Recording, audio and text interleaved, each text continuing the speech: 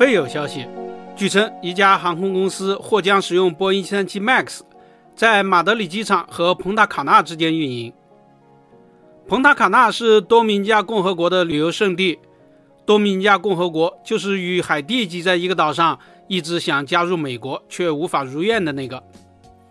本次传闻想干大事的航空公司名字叫做 Iberojet，是西班牙的一家航空企业，以前叫做 Evelop。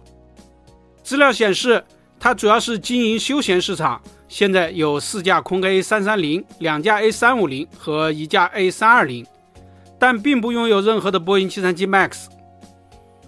然而，Iberojet 在四月八号和四月二十二号的计划表中标明，从马德里到蓬塔卡纳的 E981 动幺航班将使用波音737直飞。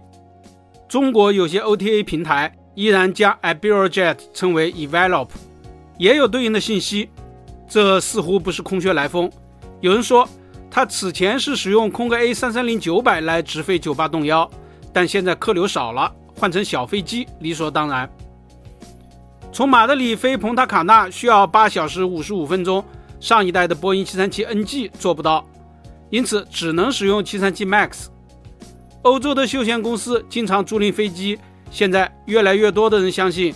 这件事儿并非是简单的标注错误，Iberjet 很可能租赁波音737 MAX 八来飞这条航线，只不过是用谁家的，目前还不知道。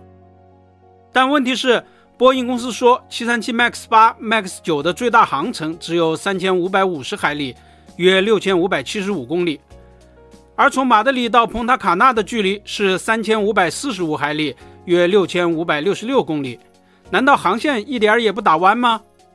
从马德里到蓬塔卡纳，跨越大西洋，备降点很少。从蓬塔卡纳返回，因为是顺风，应该没有问题。但是从马德里飞往蓬塔卡纳时，肯定逆风。直飞的话，能够飞得到吗？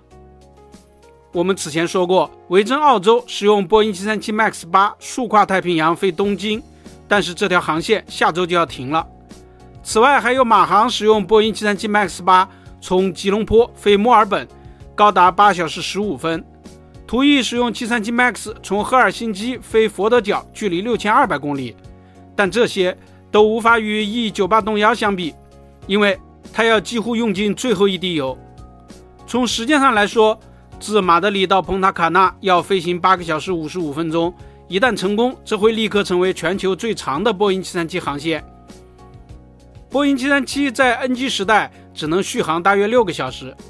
737 MAX 推出之后，航程大大的增加，很多航空公司用它来飞跨大西洋的航线。然而，直飞八小时五十五分钟还是太疯狂了。那么，Iberojet 又要如何做到呢？分析人士说，可能使用减载的方式，也就是只为波音737 MAX 8配备大约一百二十个座位，飞机越轻，油耗就越低，也就能飞得越远。例如，737 MAX 八从美国向中国交付的时候，可以从夏威夷直接干到关岛，那个航程就有六千多公里。那就让我们等等看，这家西班牙的航空公司究竟会不会玩真的呢？本期咱们就聊到这里，下期见。